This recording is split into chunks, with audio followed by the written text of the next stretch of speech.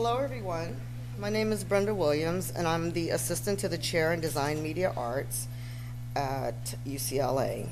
I'd like to welcome everyone to Biased Data, a panel discussion on intersectionality and the internet ethics. Biased Data was created as a response to inequality and bias in the internet culture and other network technologies.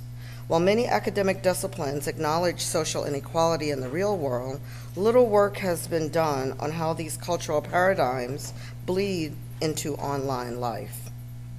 The panel will be moderated by Johanna Hedva and Casey Reas. Casey Reas is an artist and educator based in Los Angeles. He has exhibited, screened, and performed his work in galleries and museums around the world. Reas is a professor at the University of California, Los Angeles in the Department of Design Media Arts.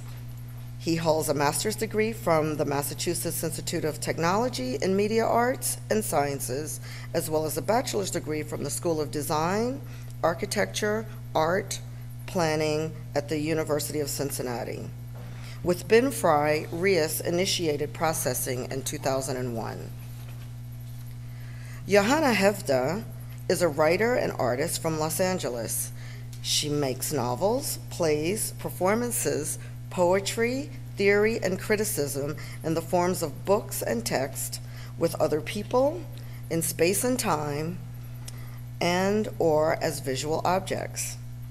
She got an MFA in art and an MA in aesthetics and politics from the California Institute of the Arts. Her work with the Processing Foundation is motivated by her political activism in intersectional feminism, anti white supremacy, anti capitalism, and for the rights of queer, trans, differently abled, and neuroatypical people from all backgrounds.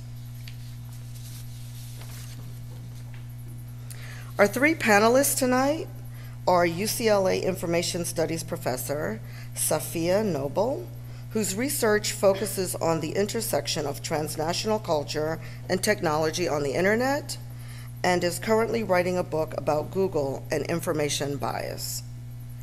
Information's doctoral studies student Marika Cifor, whose research interests include archives, gender and sexuality, and memory. And we have An Xiao Mina, leader of the production team for Bridge, a platform for social translation of social media, and co founder of Civic Beat, a research collective focused on the creative side of civic technology. The panel will examine how real world biases and inequality are replicated and systematically integrated into neutral algorithms and databases.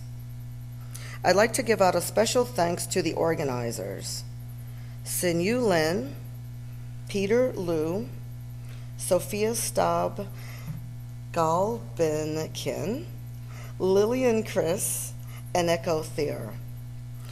Uh, we'd also like to thank the Department of Design Media Arts at UCLA, the Graduate Student Services Association, and voidLab.